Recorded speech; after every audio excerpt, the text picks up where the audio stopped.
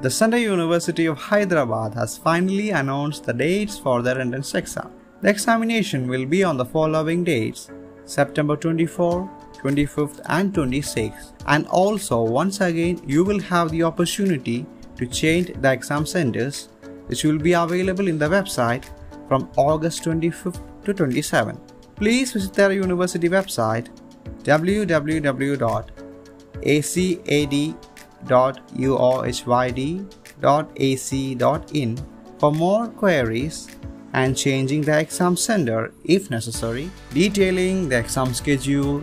In each day, there will be three sessions for the exam.